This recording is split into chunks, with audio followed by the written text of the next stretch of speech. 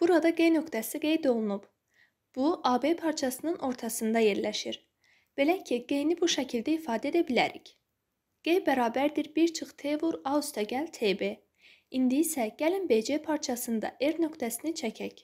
Bu halda R-i R bərabərdir 1 çıx T vur B üstəgəl TC şəklində yaza bilərik. İndi isə G və R nöqtələrini birləşdirək.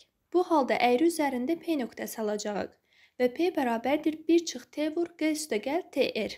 Bu sonuncu bərabərliyə əsasən P-də T-nin qüvvəti 1 olacaq. Lakin ilk iki bərabərlik də T-dən asılıdır. Gəlin birinci və ikinci bərabərliyi üçüncü bərabərlikdə əvəz edərək bu ifadəni alaq. Belə ki, buradan alırıq ki, P bərabərdir 1 çıxılsın T kvadratı vur, A üstə gəl 2T vurulsun, 1 çıxılsın T vurulsun B, Üstəgəl t-nin kvadratı vur c.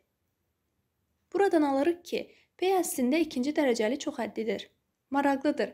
3 təpə nöqtəsi olan çoxbucaqlıdan ikinci dərəcəli çoxhədli aldıq. Bu isə məntiqlidir. Burada g və r-i hesabladıq. Sonra isə p-ni hesabladıq. Yaxşı, bəs 4 təpə nöqtəsi olan çoxbucaqlıya baxsaq, dərəcəsi necə olacaq? Tapa bilərsiniz? İlkin olaraq 3 nöqtəni hesablayırıq. Sonra 2 nöqtəni hesablayırıq. Son olaraq da 1 nöqtəni hesablayırıq. 3 mərhəli olduğu üçün alınan əyrinin də dərəcəsi 3 olacaq. Yəni 4 təpə nöqtəsi olan çoxbucaqlı bizə dərəcəsi 3 olan əyri verir. Bunu 5, 6 və s. təpə nöqtəsi olan çoxbucaqlılar üçün də edə bilərik. Qayda belədir ki, əgər n sayda nöqtə ilə başlayırıqsa, bu halda n çıxılsın 1 dərəcəli çoxhədli alırıq.